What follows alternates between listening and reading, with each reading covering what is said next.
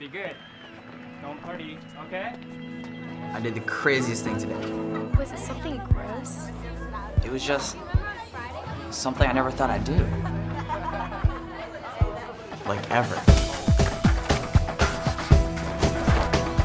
Did your parents find out? Yeah, they were totally shocked. My mom cried. And for the first time in a long time, I just felt good. What did you do?